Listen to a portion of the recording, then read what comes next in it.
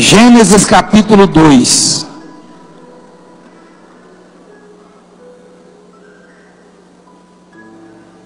Versículo 7. Presta atenção nessa palavra aqui.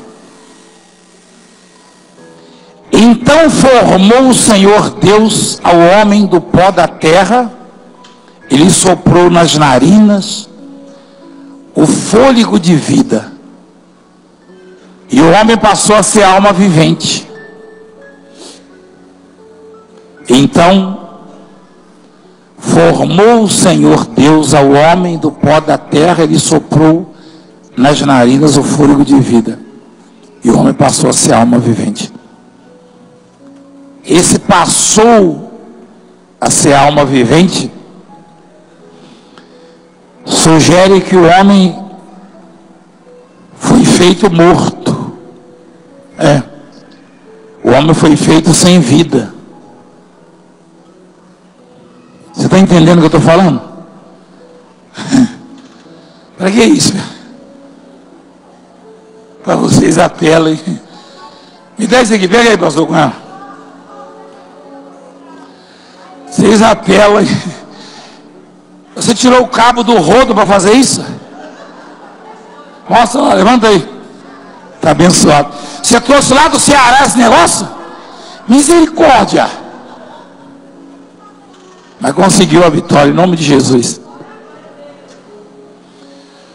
O homem foi feito sem vida. Presta atenção passou a viver a partir do sopro, do sopro de Deus.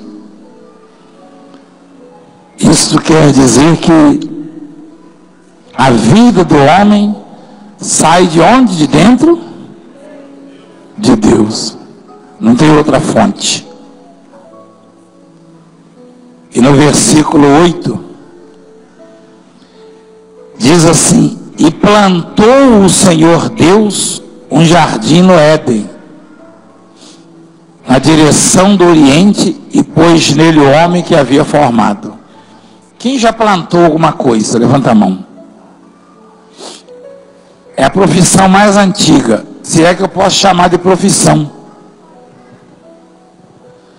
Porque é tão simples plantar, não é simples? É tão simples. Um, um, agricultor, um trabalhador da roça, ele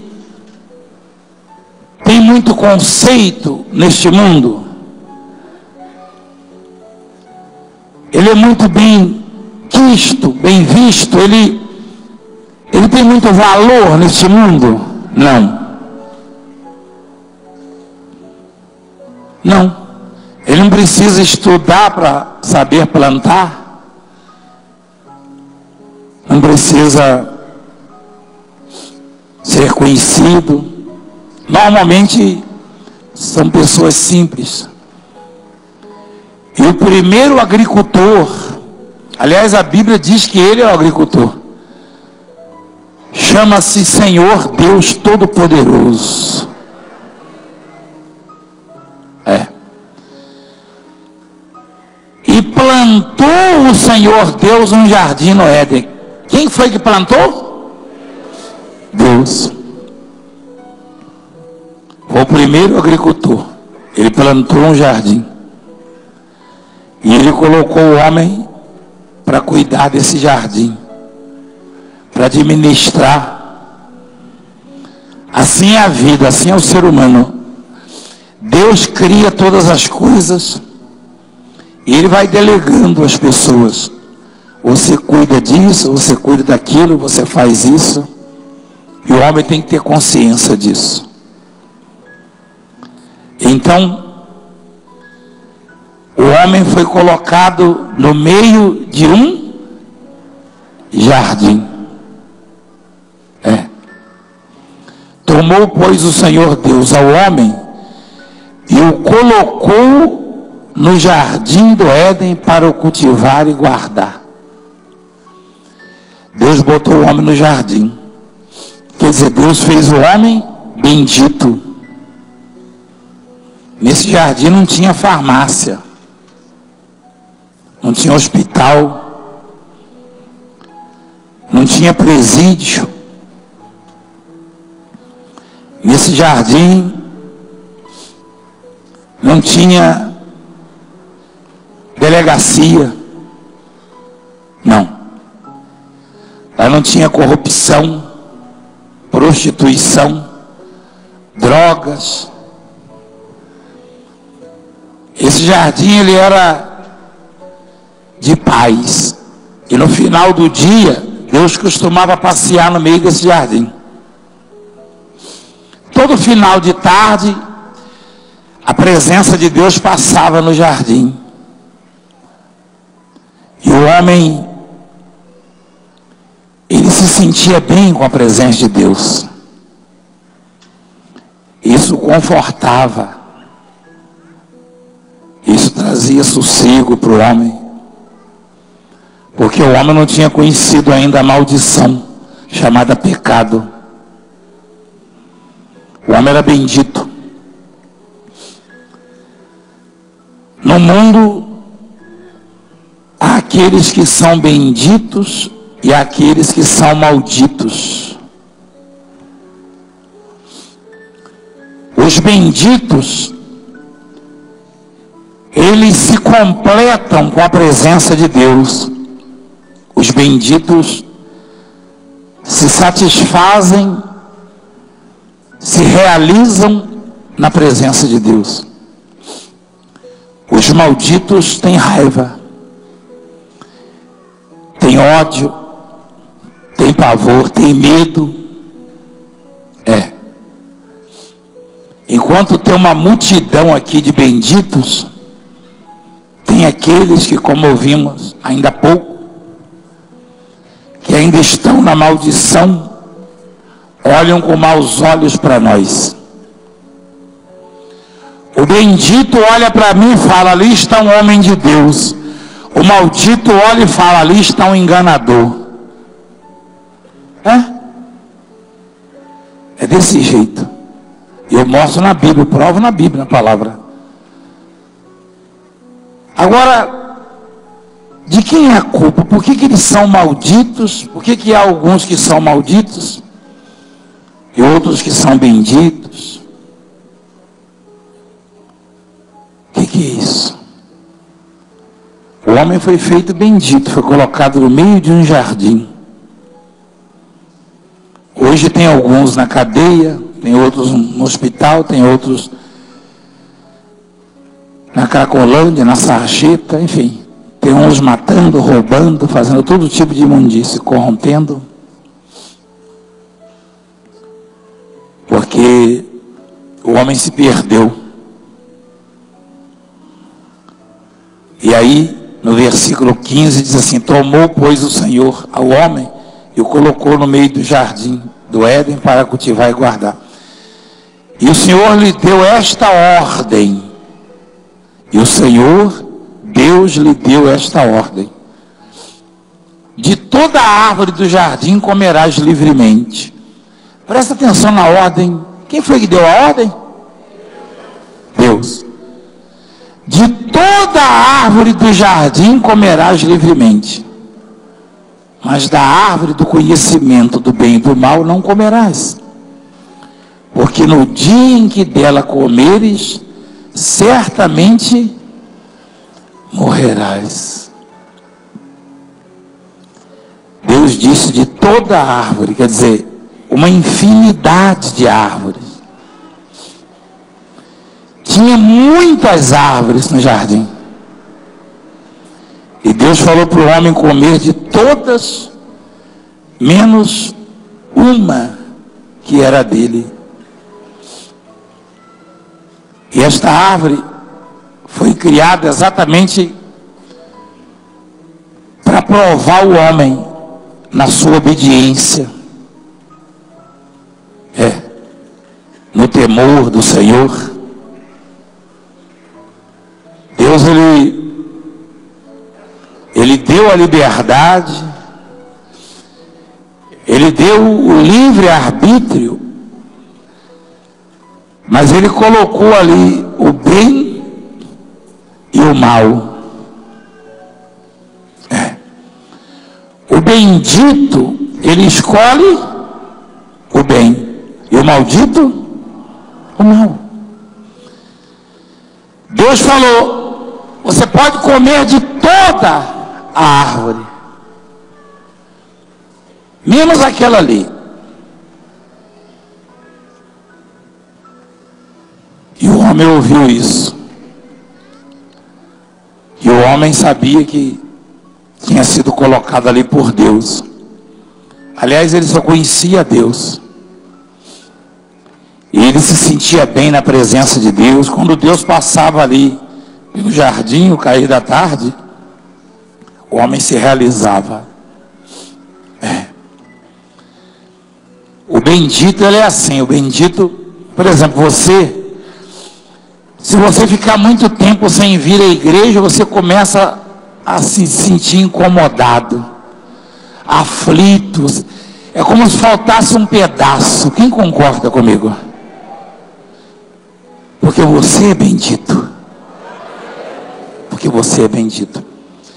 O maldito, ele já sente o contrário. Você chama ele para vir à igreja, ele às vezes tem até vontade de vir, mas ele tem medo. Você percebe que ele tem medo. Ele fala, eu tenho a minha religião, eu, eu não sei. Sem falar daqueles que xingam, eu não vou não, eu não gosto daquele sujeito. É. Esse é o maldito, mas ele não sabe que é maldito.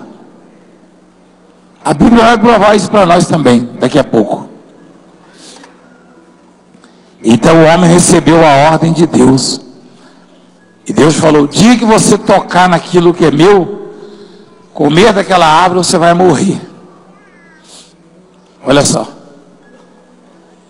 Aí no capítulo 3 diz assim: Mas a serpente, mais sagaz que todos os animais selváticos que o Senhor Deus tinha feito, disse à mulher: É assim que Deus disse? Não comereis de toda a árvore do jardim? Olha só, rapaz. A serpente fez uma pergunta. Serpentes falam? Sim ou não? Então quem é que estava falando ali na serpente? Satanás. o opositor, o adversário de Deus. É. Satanás, ele tem um único projeto. E esse projeto dele leva o ser humano à destruição, à perda da salvação. Esse projeto dele faz guerra no mundo, traz fome, todo tipo de peste de moléstia. Esse projeto dele, ele é tão terrível que tirou o homem do jardim e botou na favela. Tirou o homem do jardim. O homem que se sentia tão bem na presença de Deus, passou a ter medo da presença de Deus, por causa do projeto de Satanás. Olha o que, que a serpente perguntou. A serpente perguntou uma coisa que ela já sabia. Só que ela tentou ver se bate com aquilo que Deus disse. Deus disse assim: Volta lá, comerás. Está escrito comerás aí, minha filha? Com... Não, não, não é isso não. Ele disse: comerás toda árvore do jardim comerei, comerás o quê? Quem diz isso? Deus disse não comerás ou disse comerás? Comerás. Agora veja o que a serpente pergunta, veja. Veja o que a serpente perguntou, ou seja, o Satanás. É assim que Deus disse: Não comereis de toda a árvore do jardim? Respondeu-lhe a mulher: do fruto das árvores do jardim podemos comer. Mas do fruto da árvore que está no meio do jardim, disse Deus: dele não comereis, nem tocareis nele, para que não morrais. Então a serpente disse à mulher: É certo que não morrereis. A serpente, ó, é certo que não morrereis. Deus disse o que? Se comer, e a serpente disse o que? Se comer, não morrerás. A serpente estava dizendo o seguinte: Deus está enganando vocês. É. Como não tinha nem um sacerdote, nem um apóstolo, nem um pastor, nem um pregador no jardim, para a serpente despistar as pessoas. Porque a serpente hoje não ousaria dizer: Deus está enganando vocês. Ela diz assim: o apóstolo está enganando vocês. O profeta está enganando vocês. O pastor está enganando vocês. Como não tinha nem um pastor, nem um apóstolo, nem um profeta, a serpente disse: Deus está enganando vocês. Disse ou não disse? Deus disse: quem comer desta árvore acontecerá o quê? A serpente disse: é certo que não morrerás. Deus está mentindo, disse a serpente. É. Foi o que a serpente disse. E a serpente continua dizendo isso. Embora a serpente tenha muita dificuldade com essa obra, por causa dos milagres e da forma como Deus nos dá a palavra, ela continua dizendo: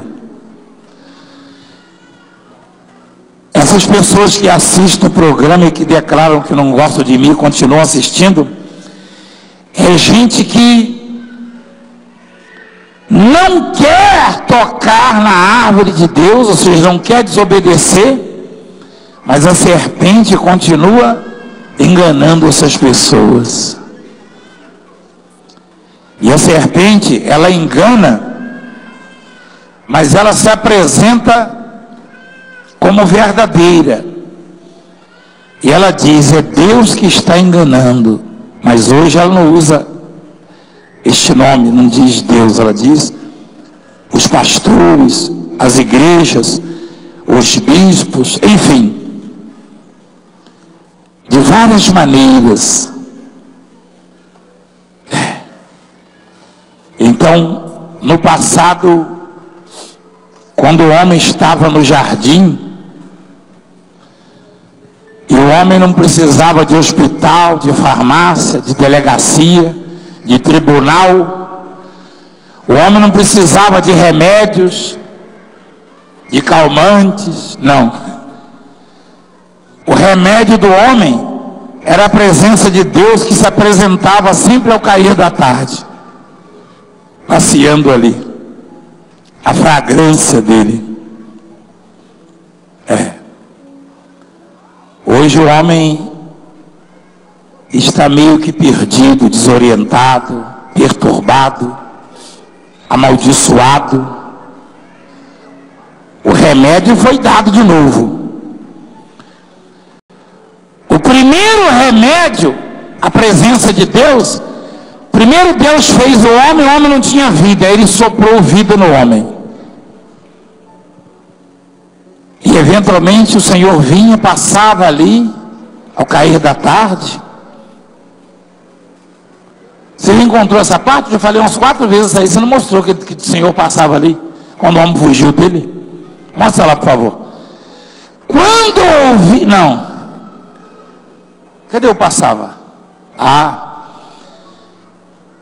Quando ouviram a voz do Senhor que andava no jardim pela virada do dia.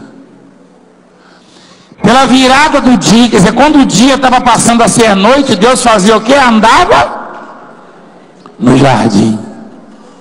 É. Esse era o remédio do homem.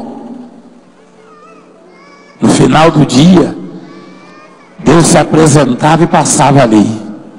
próprio Deus. E aí o homem sentia segurança, sentia paz, sentia força, sentia conforto, consolo.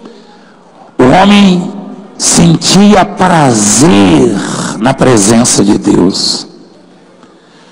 Hoje a maioria sente pavor, medo. Tem alguns que até vê a obra de Deus como uma ameaça, como um perigo. Essa semana alguém mandou uma mensagem, disse que estava passando uma reportagem sobre a igreja no History Channel, um canal internacional, canal de história. Quem assistiu?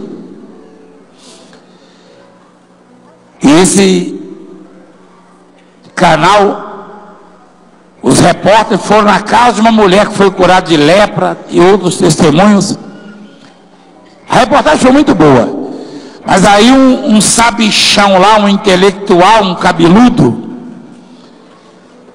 deu depoimento e falou: quando investigam esses milagreiros, acaba por revelar a fraude. Falou assim.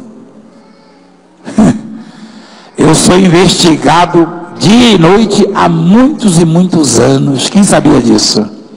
Muitos e muitos anos. É? Então, veja este homem cabeludo, que se diz intelectual, como é ignorante. Como é ignorante. Investigar os milagreiros acaba por se revelar a falta. Quer dizer, investigar uma igreja que o menor culto do apóstolo tem 20 mil pessoas, no meio das quais gente que dá aula para professores. Um dia desse, uma mulher deu depoimento que ela é, ela é professora dos professores. Quem viu isso aí? Médicos, delegados, juízes, desembargadores e autoridades políticas fazem parte dessa obra. Os próprios investigadores, a maioria, os que já investigam há mais tempo, já andam com a toalhinha e já deram testemunho também. Falei alguma besteira? Não. Então, é. Olha a ignorância do sujeito. Mas o homem não foi feito assim. O homem foi feito para ter prazer na presença de Deus. O homem foi feito para se realizar na presença de Deus. Mas a desobediência tirou o homem do jardim. E como Deus costuma passear no jardim, o homem foi expulso de lá. Então ele perdeu o acesso que ele tinha à presença de Deus, o livre acesso. Ele tem medo da presença de Deus, ele se assusta. E a serpente continua dizendo: Você está sendo enganada, a serpente diz. É. Mas hoje é mais fácil para a serpente dizer: o Valdemiro está te enganando, o fulano lá da outra igreja está te enganando, o cicrano está te enganando. Hoje a serpente trabalha assim. As igrejas estão erradas, assim que a serpente trabalha. Não é só contra a igreja mundial do poder de Deus. É contra toda a igreja que prega a palavra. Algumas igrejas no mundo foram encarregadas de reconduzir o homem ao jardim. É. Por que reconduzir? Conduzir uma segunda, uma segunda vez. Que o homem foi feito dentro do jardim. É. Você consegue você consegue, no pensamento, separar, distinguir? Eu vou dizer que O homem vivendo no hospital, ou na cadeia, ou numa favela, num barraco. É qualidade de vida? O homem vivendo no jardim, não estou falando de jardim bairro, não. Falando de jardim mesmo. Jardim de verdade. O homem vivendo num jardim. Só em pensar, a gente vê qualidade de vida. no meio das plantas, das flores, dos pássaros, um rio passando no meio. Foi assim que o homem foi colocado na terra. É. E Satanás, através da serpente, disse: Deus está enganando você. Falou para o homem e para a mulher: Deus está enganando vocês. É certo que você não vai morrer, a serpente disse. É certo que não morrereis. Deus disse que o homem morreria ou não? Se comesse da árvore proibida? E a serpente disse o quê? Em quem o homem acreditou? Em Deus ou na serpente? Na serpente. Só que a serpente, ela tem um jeito muito especial de falar, de se apresentar. A Bíblia, ela diz que ela é a mais sagaz. O que, que é isso, sagaz? Esperto? Hein? É. Olha lá. A serpente mais sagaz que todos os animais selváticos. É a mais astuta, a mais sagaz. Ela se apresentou de uma maneira e ela convenceu o homem que Deus estava errado. É. Tinha alguma árvore ali que a serpente criou, que o Satanás criou. Tinha muitos animais no jardim, sim ou não? Qual deles o, o Satanás fez ali? Fez algum? Nenhum. Nenhum. Qual dos dois que o Satanás fez? O Adão ou a Eva? Nenhum também? O rio que cortava o jardim foi Satanás que fez? Quem plantou o jardim foi Satanás ou foi Deus? Uai, me ajuda aí. Nem, nem um cipózinho, nem uma planta foi Satanás que fez? Mas ele conseguiu convencer o homem. Ele conseguiu convencer. Quando Adão e Eva olhavam, uma árvore mais linda do que a outra. Uma árvore, cada árvore mais frutífera do que a outra. Até a própria árvore do bem e do mal. A Bíblia diz aqui que quando a mulher olhou para ela, viu que era agradável, bela aos olhos, boa para se comer, aparentemente. Deus fez tudo perfeito lá. Vendo a mulher que a árvore era boa para se comer, agradável aos olhos e árvore desejável para dar entendimento. Quer dizer, Deus fez tudo, tudo. Eu preguei uma mensagem essa semana que diz que Deus fez a terra e tudo que a terra produz também foi Deus. É. Satanás nunca vai poder te apresentar algo que venha diminuir a obra de Deus. Alguém disse para mim, por que, que você, apóstolo, não processa um sujeito que grava demônio falando ele próprio? dizendo que é o diabo que faz essas obras na sua vida, na sua igreja, e que na dele é Deus. Por que, que você não processa? Perguntou para mim.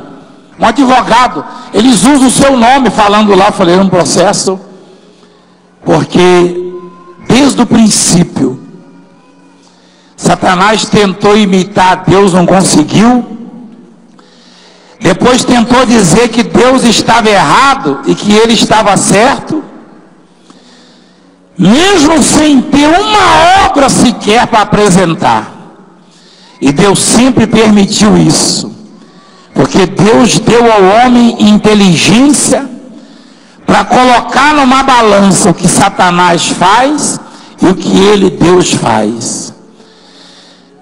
Se é Deus de verdade que faz, aquilo que Deus faz vai fazer pender a balança.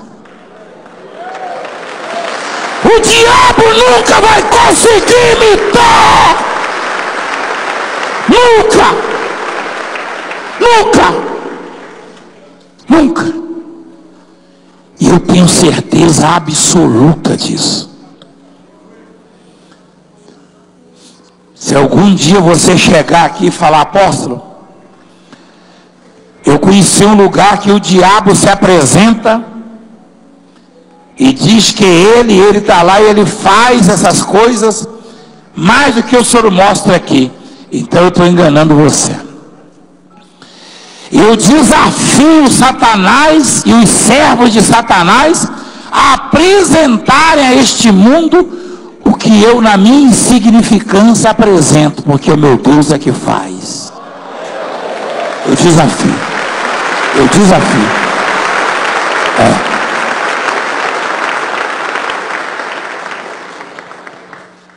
A mulher olhava para uma árvore, os galhos carregados, coisa linda. Quem fez? Olhava para outra, supercarregados, frutos abundantes. Quem fez? Olhava para o rio, peixes, água límpida, transparente. Quem fez? Tudo. E a serpente, o diabo disse: Deus está enganando vocês. Não vai dizer Deus está enganando. Não. Ele vai dizer o fulano, a igreja tal. É? É desse jeito. É a única coisa que ele pode fazer é dizer. Porque a igreja que é de Deus, a igreja que é de Deus, ela vai sempre mostrar o que Satanás nunca será capaz de mostrar. Nunca. Nunca. Ela vai sempre mostrar. Ó.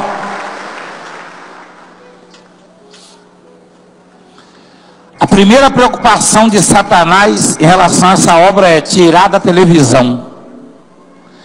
Eu não sei se você percebeu as pessoas subindo no altar. Eu vi na televisão, eu conheci na televisão, eu abracei a televisão, eu vi na televisão. É. Porque a estratégia dele Primeiro ele tentou aplicar a mesma estratégia lá do jardim. Satanás já é velho já. Satanás já é velho de guerra. Ele tentou a primeira estratégia lá do jardim. Tentou a, a mesma. Dizendo, não é de Deus não. Não foi? Aí você olhou, peraí, mas isso não é de Deus? Eu lembrei de uma, de uma palavra que falaram para o sujeito assim, ó. Dê glória a Deus, porque esse homem que te curou não é de Deus, não. Ele não guarda o sábado. Aí o cego falou: Bom, eu não conheço ele, né? Se é de Deus ou não, isso eu não sei. Eu só sei que eu era cego e agora eu vejo. ai, ai, ai. Olha lá.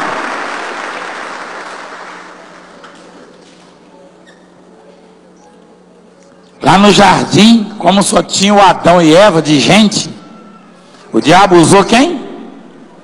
A serpente. Mas quando Jesus abriu os olhos do cego, o diabo usou quem? O homem. E hoje o diabo usa quem? O homem. Olha o que, que o diabo falou lá em João 9, ó. Pode, ó, ó, o diabo, ó, pode agradecer a Deus mesmo, porque esse homem não é de Deus. Olha lá. O que, que ele disse, o cego? Se ele é pecador, eu não sei. Uma coisa eu sei. Eu era cego e agora eu vejo. Aí teve um outro que falou assim: esse tal de Jesus tem demônio e enlouqueceu. Chamaram Jesus de endemoniado. Gente, um dia eu estava tão brabo. Eu estava eu tava cuspindo maribondo. Tem um besouro grandão assim que diz que se ferroar fica 24 horas. Um pretão que. Manguaguá? Manguaguá na cidade? Eu estava cuspindo aquilo ali, uma meia dúzia assim, por hora. Por quê? Porque um bispo chegou na televisão e falou assim: Valdemir é endemoniado, esse milagre é o demônio que faz. Aí eu fiquei tão bravo. Aí eu abri a Bíblia. Quando eu abri a Bíblia para ler, estava lá: Ele é endemoniado e enlouqueceu. Mas não era eu não lá. Estava falando de quem? Ele tem demônio e enlouqueceu. Por que houve? Eu falei, peraí, por que, que eu estou bravo? Se chamaram Jesus de endemoniado, eu vou chamar de quê? De lobisomem, de cramunha. É. Peraí, se chamaram o santo de endemoniado e o pecador, então, vamos chamar de oi de boi, de capivara, de lobisomem, mula sem cabeça. É. Eu falei, meu Deus, estou bravo? Aí eu comecei a cantar, entra na minha casa. Falei, peraí, ó. Se chamaram o mestre, o santo de endemoniado, eu vou chamar de quê? Mas disseram, aí alguém falou assim, peraí, mas esse jeito de falar não é de endemoniado. Pode porventura um demônio abrir os olhos aos cegos? Olha lá. Então, um profeta, um apóstolo, um pregador que não tem os frutos, não sobrevive nesse mundo. Sabia? É. Uma igreja que não tem o poder de Deus, não vai para frente nesse mundo, porque é implacável. Dê glória a Deus, porque a sua igreja tem o poder de Deus. É. Do contrário, do contrário, você não ia ter sossego nem na sua casa, nem no seu trabalho, nem nas ruas, nem em lugar nenhum. Lugar nenhum. Todo mundo ia dizer, ó, o seu líder é isso, a sua igreja é aquilo, e não sei o que, e papapá, e você não ia poder falar nada, apresentar nada. Mas uma mulher subiu aqui e disse: Glória a Deus que mandou um anjo, uma tal de Luzia, com um paninho, e o meu filho ressuscitou. Praticamente. Você sabe o que quer dizer isso? Ah! Tem uma que eu não sei. Eu não sei que dia que foi, tem uma que testemunhou um dia desse falou: uma macumbeira me deu uma toalhinha. Alguém ouviu isso? Quem ouviu isso? Que dia que foi isso aí? Foi aqui? Foi no Braz? Eu ouvi isso, eu ouvi isso. Eu fiquei meio cabreiro. Falei, puxa. Então, as serpentes continuam trabalhando e continuam sagazes. É. Enquanto houver mundo, as serpentes vão continuar trabalhando. Mas as árvores frutíferas são mais e maiores e são estarão sempre em evidência. Ou seja, a única coisa que a serpente vai poder apresentar são palavras contra a obra. Mas a obra que é de Deus, que representa as árvores, vão sempre apresentar os frutos, ou vai sempre apresentar os seus frutos, a, a obra.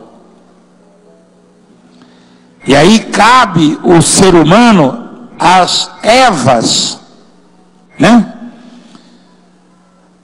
A perceberem que Satanás vem com as palavras contrárias à obra. E a obra vem com os frutos que só Deus pode fazer. Não é difícil. Não é difícil. Satanás fala contra, a obra mostra os frutos. E a serpente, ela falou: É certo que você não vai morrer.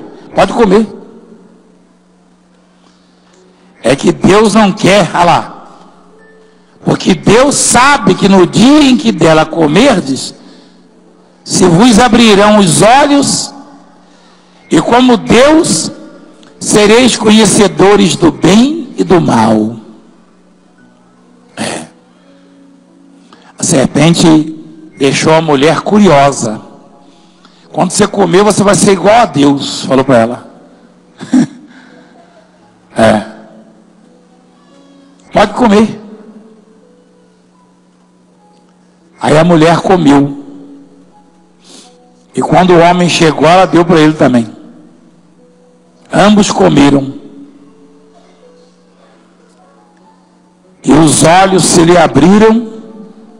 Ou seja, o homem só conhecia o, o bem. O homem só conhecia o bem. A única coisa que o homem conhecia era o bem. Aí o homem passou a conhecer também o que? O mal. Então, só existia o bem na vida do homem. Mas quando ele desobedeceu, ele conheceu também E num daqueles dias, numa daquelas tardes, que o Senhor costumava passear no jardim, quando o Senhor entrou no jardim, o homem correu e se escondeu. O homem e a mulher, mostra lá. O homem sempre fazia isso quando Deus se aproximava dele? Não. O homem se sentia seguro, sentia paz, sentia alegria, sentia prazer. Mas um daqueles dias que Deus se apresentou, o homem teve medo de Deus, teve vergonha de Deus, o homem se escondeu de Deus. Hoje, a maioria se esconde de Deus. Quem já percebeu isso? Quando você vai falar de Deus para alguém, a serpente que está ali sempre próxima deste alguém, talvez até na vida deste alguém,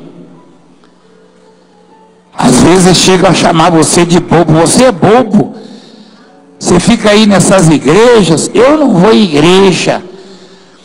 A serpente diz para o sujeito assim: Deus está em todo lugar. A serpente falava para o meu pai assim: ó até debaixo de uma árvore. Olha só, serpente sempre gostou de uma árvore. É? Eu não entendia não. O meu pai falava assim. O meu pai falava assim quando eu era pequeno, meu filho. Você viu, seu pai não vai igreja não, mas Deus se busca debaixo de uma árvore em qualquer lugar. Eu não entendia, sempre falava um negócio debaixo de uma árvore. Depois que eu fui entender que a serpente sempre adorou uma árvore, né? Olha a história dela, da danada. Ela sempre gostou de uma árvore. É? E ali da árvore ela sugere que as pessoas tenham medo de Deus, tenham vergonha de Deus, se afastem de Deus, tudo através da desobediência. Você não tem medo de Deus, tem? Mas você já teve. Eu estou falando de temor. Temor, a palavra temor quer dizer medo, mas não o temor do Senhor. Por incrível que pareça, você que é grande conhecedor da gramática, talvez você nem entenda. É mais fácil os simples entenderem. Porque temor, traduzindo, é medo. Só que temor do Senhor, traduzindo, é amor.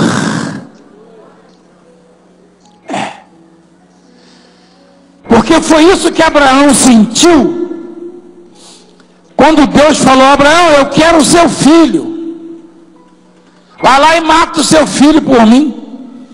Eu ouvi uma mãe dizer, não sei se foi hoje aqui, acho que foi hoje aqui, que ela orou a Deus e falou: Senhor, troca minha vida pela vida do meu bebê. Quem ouviu isso?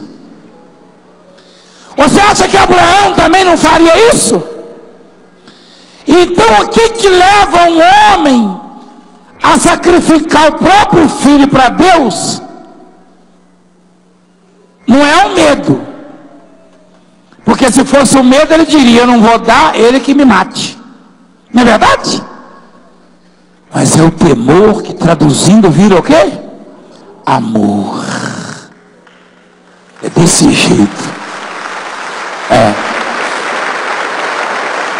a serpente que os homens sintam medo de Deus, vergonha de Deus, pavor de Deus e se afastem de Deus. É isso que a serpente quer. E Deus quer trazer o homem de volta para o jardim, porque ele foi expulso do jardim. Dentro do jardim não tinha nada dessas imundícias que a gente conhece aqui nesse mundo.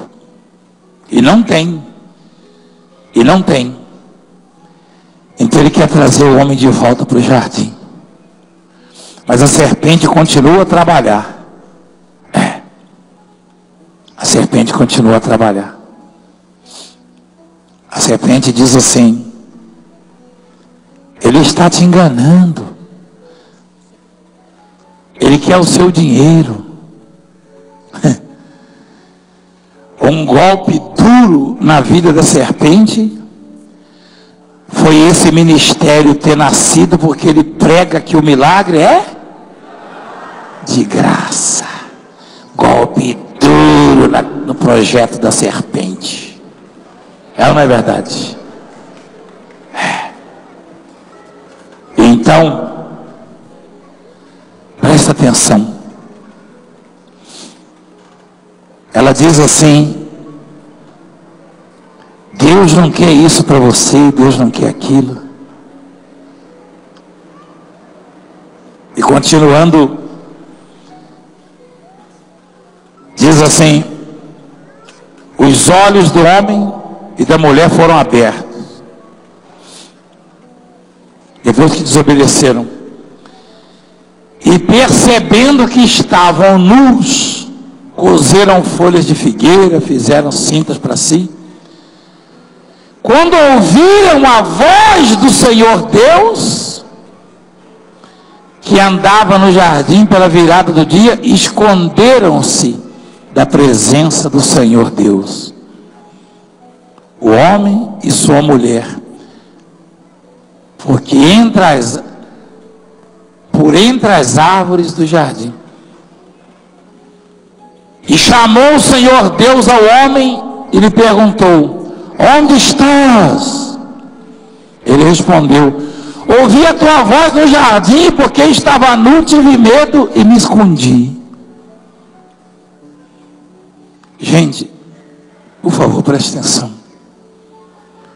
Deus é tão extraordinário, tão longânimo, tão compassivo, tão misericordioso, que mesmo o homem tendo desobedecido, pecado, caído, Deus falou com o homem e o homem ouviu, ouviu a sua voz. Deus hoje tem falado com todos os homens. Deus fala com homens na prisão. Deus fala com homens em casa. Deus fala com homens no hospital. Deus fala com homens na igreja. Deus fala com homens nas ruas. Deus fala com homens católicos, com homens evangélicos, com homens espíritas, com homens judeus, com homens muçulmanos Deus fala com todos os homens. Nem todos conseguem ouvir. Alguns até ouvem, mas se escondem. Deus falou com o homem que estava prestes a ser expulso do jardim. Deus falou com o homem que estava no pecado, na desobediência. Deus falou com o homem que estava pendendo para o lado da serpente. O homem que acreditou mais no Satanás do que nele, mesmo assim ele falou com o homem. Mas quando ele fala com um bendito, o bendito cresce, se aproxima dele, se fortalece, se sente seguro, se sente à vontade. Quando Deus fala com o bendito, ele se fortalece. Quando Deus fala com o maldito, ele se esconde. Ele foge, ele tem medo. Ele blasfema, murmura, reclama. E ele às vezes nem reconhece a voz de Deus. Muitos reconhecem e tornam-se benditos. Outros não reconhecem e continuam na maldição. Quer ver um exemplo? Quando Daniel, acho que é Daniel 10, Daniel era maldito ou era bendito? Daniel diz assim: quando ele falava comigo, eu me senti forte. Ele não fala um negócio assim? Daniel fala. É. Daniel capítulo 10, se eu não me engano. Perdão, Daniel é 4 e 10, né? Quando Deus fala com. Quando Daniel jejuou, acho que é 4 e 10. Bom, eu não me lembro muito bem agora. Eu sei que ele diz assim: quando Deus falava, eu preguei aqui um dia desse. Quando ele falava comigo, eu me senti forte. E ele disse: Levanta, Daniel, homem muito amado. Desde o primeiro dia em que aplicaste o coração, não encontrou, não, meu filho?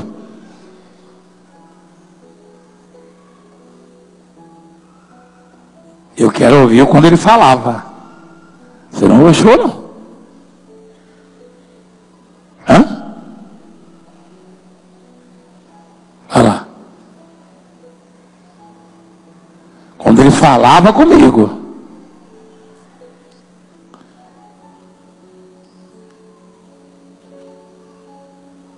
Ele disse: Quando Deus fala com o bendito, o bendito se fortalece.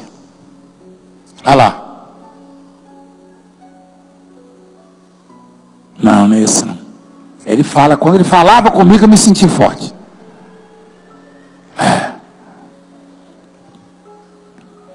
me fortaleceu. As palavras do Senhor fortalecem os benditos. Eu disse essa semana mais para os bispos, pastores. Falei na televisão que Deus ensina que maior que o milagre é a palavra dele.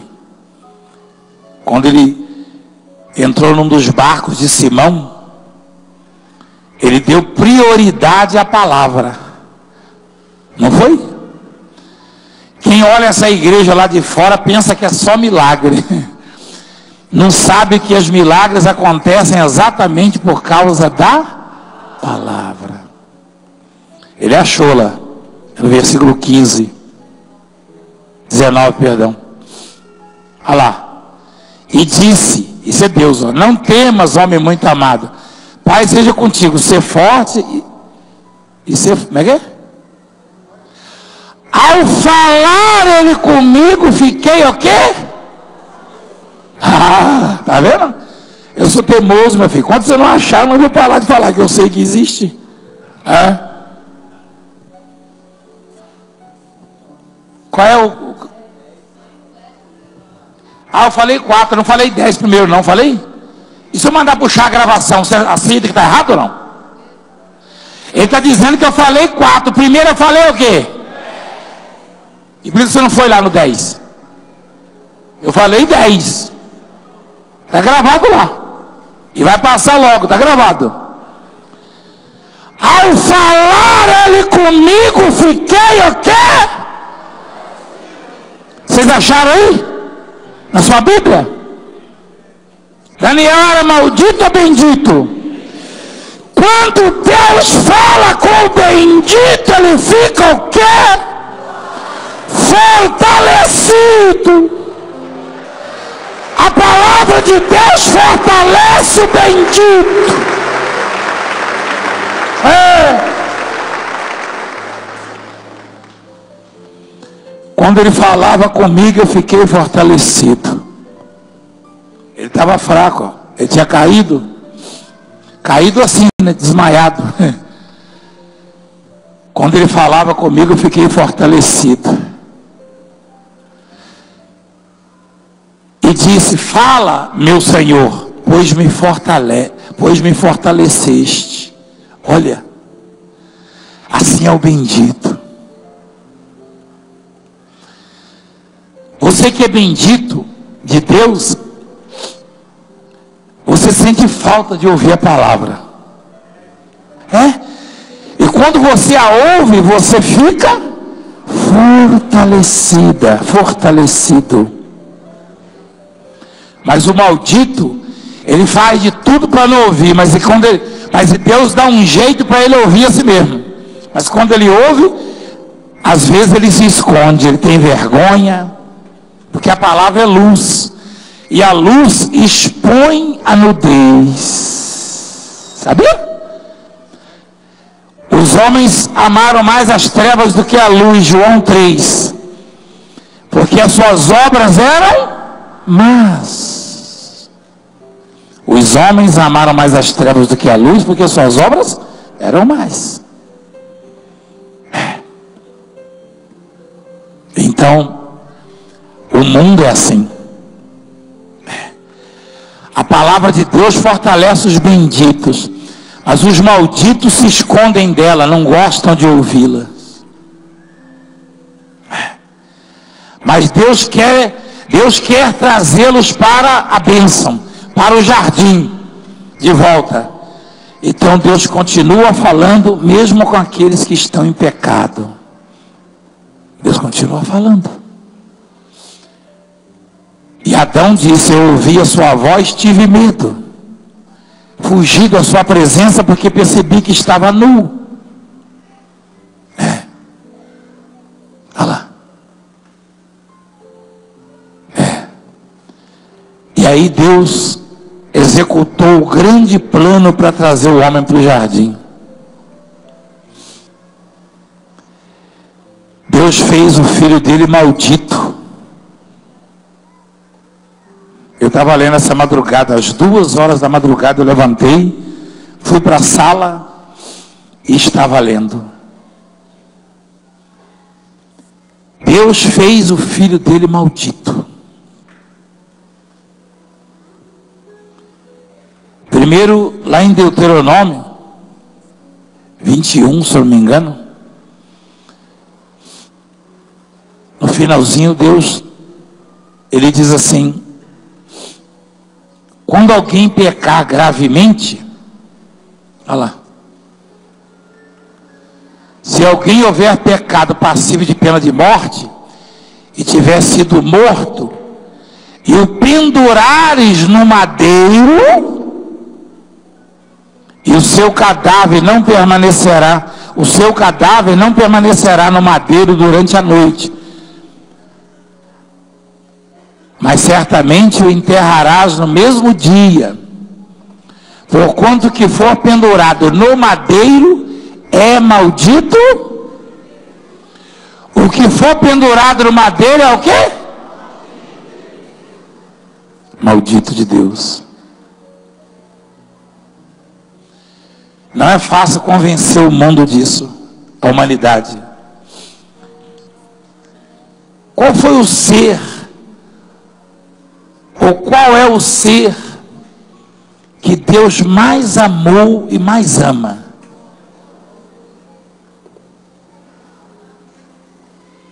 Qual foi? A capivara? Chimpanzé? Não. Está escrito na Bíblia, não? Este é meu filho amado em quem tenho prazer. Quem falou isso? Se referindo a quem?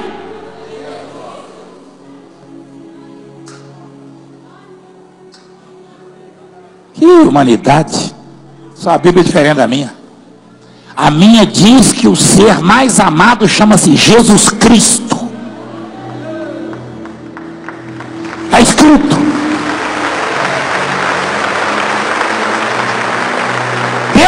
Declarou isso. Não está escrito na sua? Ele não declarou isso? Este é o meu quê?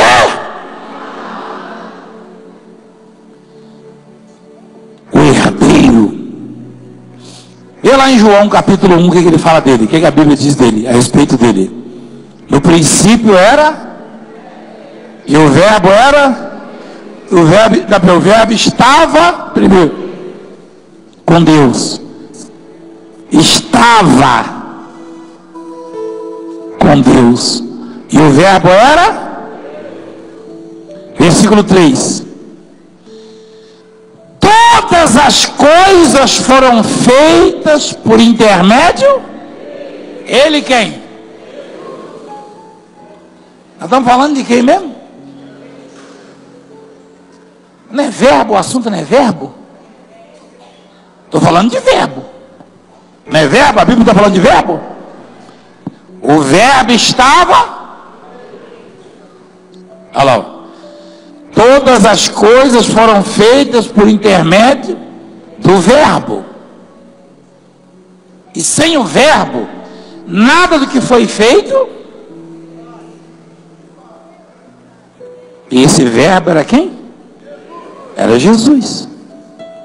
Tudo foi feito por causa dele, para ele. Tem até a música, né?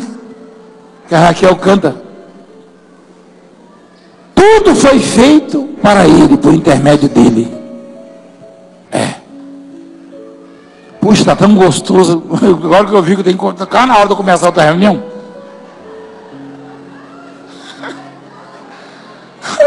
Meu Deus. Então, gente, Deus, Ele dá tanto valor ao ser humano, o homem, que o desobedeceu, que desobedece, que tem vergonha dele. Você sabia que tem gente dentro da igreja já já está dentro da igreja e continua com medo de Deus, com vergonha de Deus. Tem gente que tem até medo de um colega, de um parente, de um familiar descobrir que está vindo na igreja. Esse ainda não é bendito. Porque o bendito, ele se alegra quando Deus vem passear no jardim dele.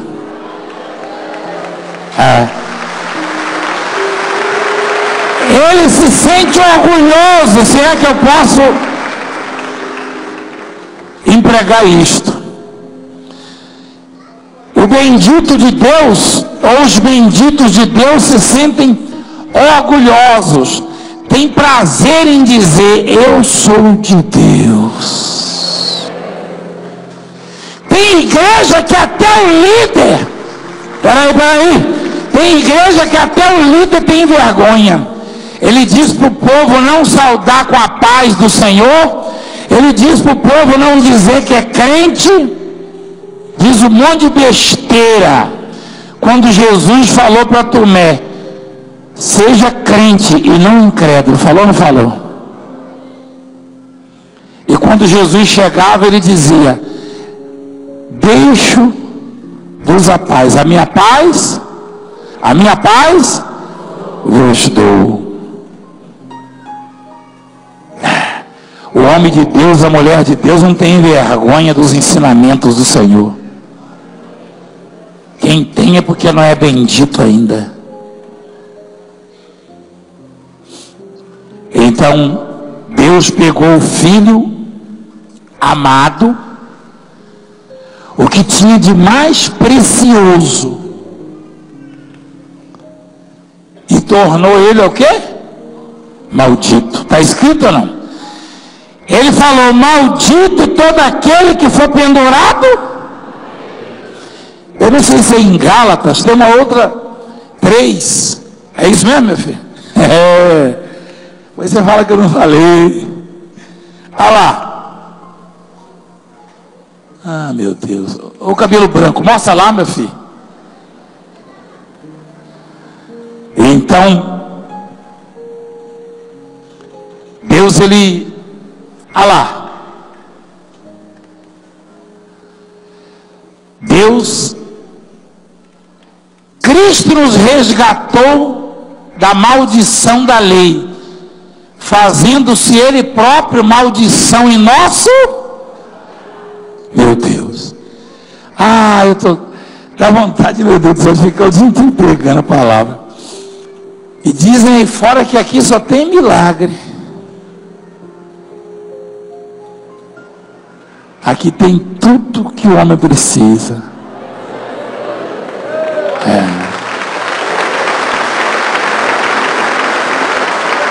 Olha só. A serpente não pode te acusar. A serpente quer ver você fora do jardim. Porque lá ela pode escravizar, humilhar. Porque quando Deus sai para passear, ele passeia onde? Ele passeia dentro do jardim. Está escrito lá. Sempre, sempre na virada do dia, o Senhor está passeando no seu jardim. Ah, mas lá em casa não tem jardim. Não. Não é na sua casa ou no seu barraco, não. É na casa de Deus, que é o seu coraçãozinho. É lá que ele vem passear. Às vezes você está tristinho, está preocupado, está aperreado. E ele chega ali no seu jardim para passear. Mas quando você ouvir a voz dele, não precisa fugir para debaixo das árvores, tentar se cobrir, ter medo, ter pavor, não. Pode escutar. Quando ele fala, a palavra dele nos, nos, nos fortalece. Meu Deus maravilhoso. É. Nos fortalece. A palavra dele.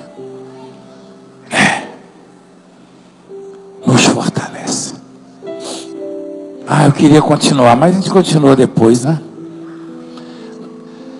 Eu continuo lá no Braz e vocês chegam em casa, ligam lá a TV. Quando você estiver comendo aquela macarronada, aquele franguinho, liga lá e pensa em mim. Você ouviu, galera? Você que está chorando aí. Deus está te fortalecendo hoje, sabia? A todos nós. É. Aí o seu marido fala assim: Eu não entendo essa mulher, ela acabou de chegar da igreja e já vai assistir esse negão de novo.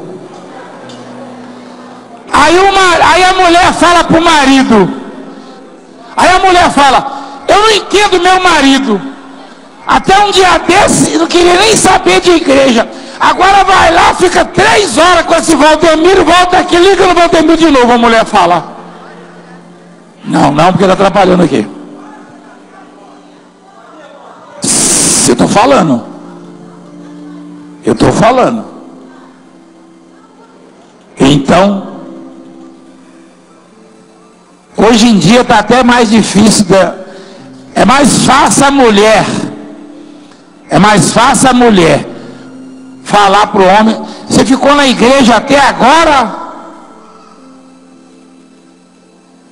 E ainda vai ligar nele? Por que, que é mais fácil? Tem mais homem na igreja do que a mulher. Quer dizer, hoje eu não sei, né? Mas domingo passado. Levanta a mão os homens, deixa eu ver.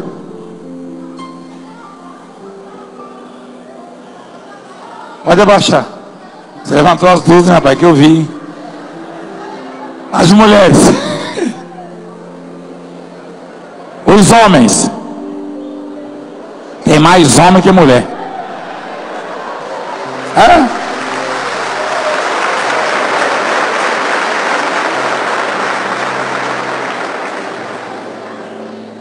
E o homem ele é mais incrédulo.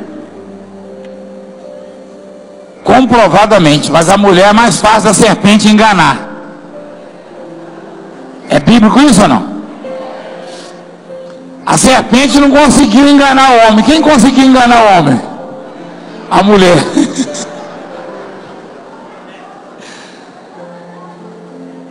Então, presta atenção. Nós vamos continuar daqui a pouco, tá? Daqui a pouco. Está tendo uma reunião aí, pastor? Vamos orar, vamos apresentar o pão, o cálice. Fica de pé, por favor. Quem entendeu a palavra? A palavra nos. Mas eu não terminei ainda. Eu vou continuar daqui a pouco. Vamos dar uma pausazinha, daqui a pouco eu continuo. Só que aí você vai estar em casa, comendo um franguinho, ou um bifinho com batata frita uma verdurinha. Essa semana eu comi uma verdura que vocês não, talvez não sabem o que é verdura. Folha de batata. Você nem sabe o que é isso, né? Mas é verdura, sabia? É melhor do que couve. Ué? É? Acabou? Graças a Deus. Não, meu filho, não dá tempo mais não. Eu estou atrasado já, tá, filhinho? Mas vou lhe dar um abraço. Pode trazer ele aqui. Você lembra desse menino aqui, ó? Vem cá, mãe. Quem lembra desse menino? Dá um abraço. Dá um abraço e desce. O pastor, resenha não, meu filho. Volta para lá também você. Estou atrasado. Levar para quem? Ele está sempre preocupado com alguém, tá certo. Esse menino está sempre pedindo a toalhinha para levar para alguém. Que legal, hein, também, né? Quem lembra do milagre? Quem lembra? A serpente pode contrariar isso aí? Aí a serpente chega, isso não é verdade.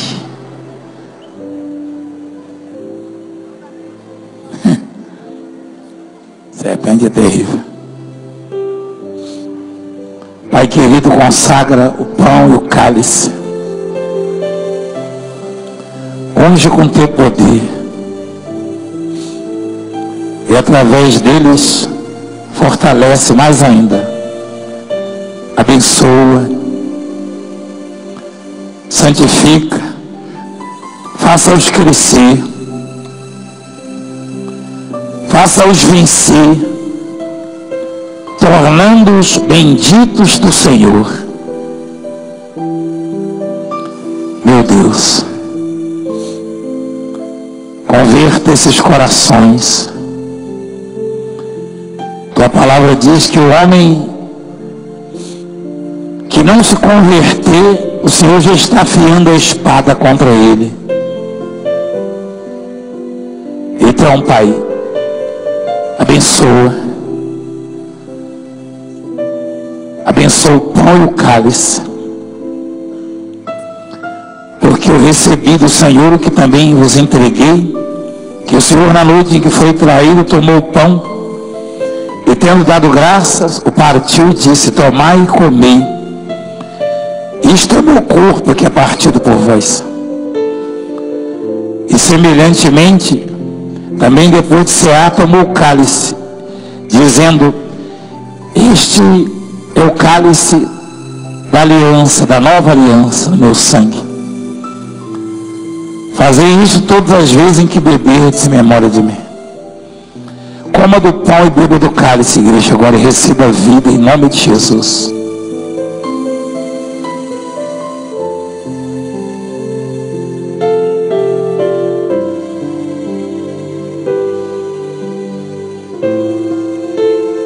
Adore o Senhor agora.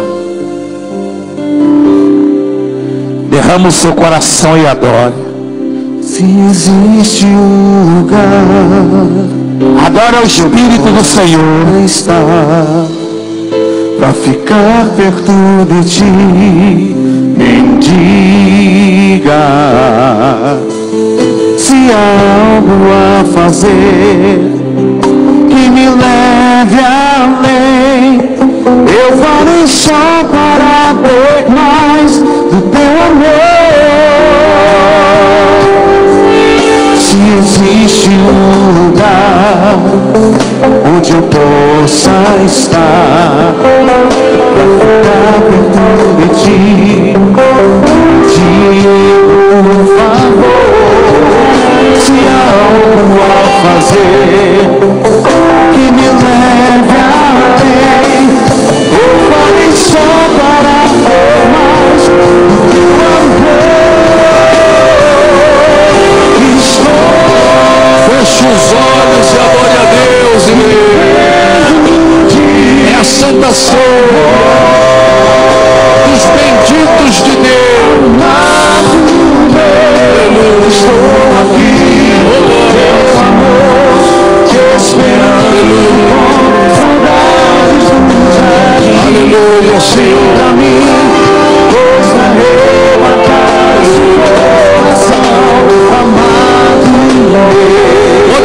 Pode adorar o Senhor nessa ceia. Ceia de abençoados,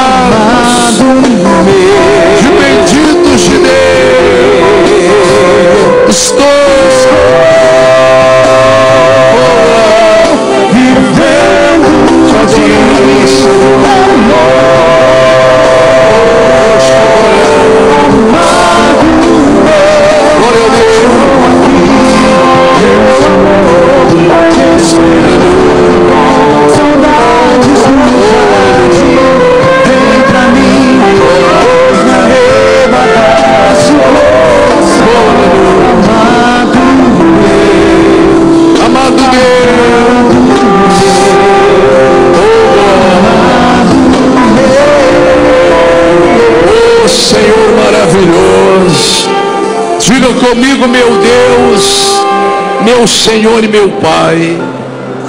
Se eu estou aqui nesta manhã, é porque eu me fiz bendito do Senhor. Eu aceitei a tua chamada, o teu, o teu chamado, e aqui eu estou, Senhor.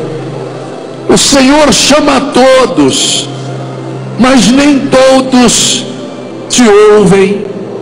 Eu te ouvi, e hoje o Senhor derrama as tuas bênçãos da planta dos meus pés até o alto da minha cabeça, e me faz bendito teu Senhor.